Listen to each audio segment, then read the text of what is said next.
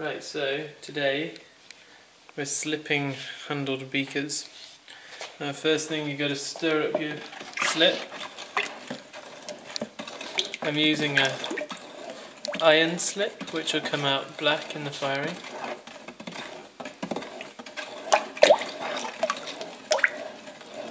Okay, so for dipping them I just have one finger on the top and thumb on the bottom underneath.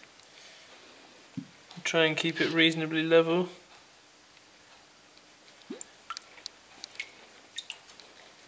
Let the drips come. Okay. And just wipe the rim with my hand. And just wash my hand.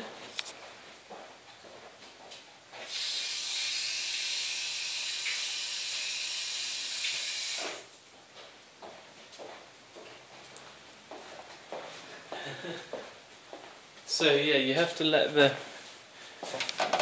um, slip go off really, so it's not glossy. Um, so in the meantime, I can tidy up the rim just with a little brush.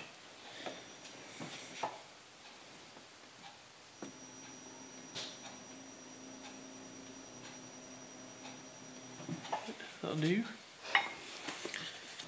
See if it's in the middle.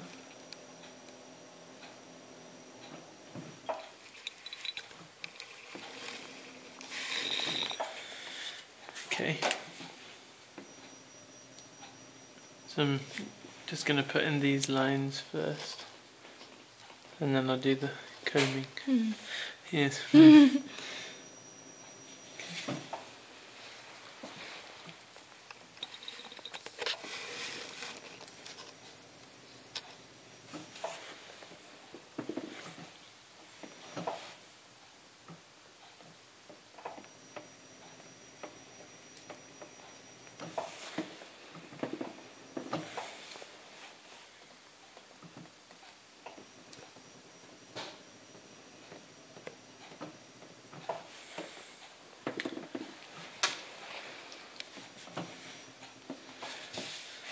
Yeah, the combing's the tricky bit. Mm. The wheel going nice and slow.